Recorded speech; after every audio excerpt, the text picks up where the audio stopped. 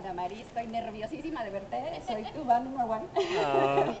Este, más que pregunta, necesito, por favor, que le puedas mandar un mensaje a una de mis hermanas en este momento, está pasando lo que tú pasaste.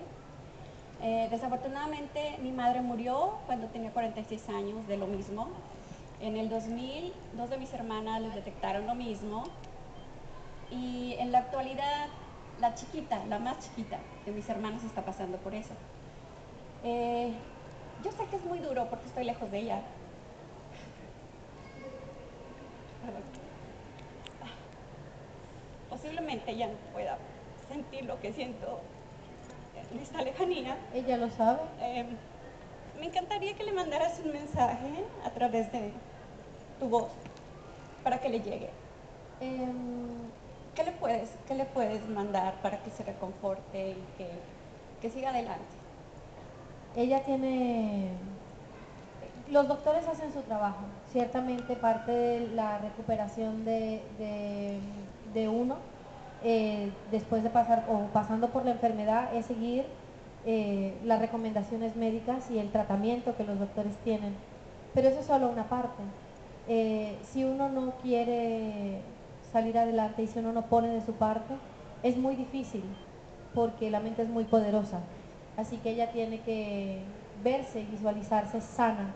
Ella tiene que querer aferrarse a la vida. Eh, ella tiene que querer sonreír todos los días, levantarse, eh, darse un baño, dejar de tenerse pena ella misma para poder salir adelante.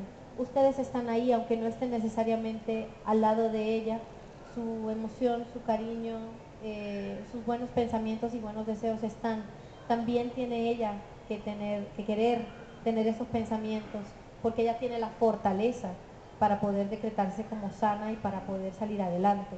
Así que a ella lo que le aconsejo es que piense positivo. De todo esto se puede salir. Una parte con la, la medicina la hace, la otra parte es de ella, es del empeño que ella le quiera poner para poder salir eh, adelante de la enfermedad o de cualquier circunstancia que la vida le ponga enfrente. Así que yo para ella mando bendiciones, salud, amor, armonía y mucha fortaleza para poder salir adelante. Muchas gracias. Gracias. Es un regalo de mi hermana, de, de parte de Nena, Magdalena. Magdalena. Bueno, ahora yo se nos ha acabado el tiempo y de verdad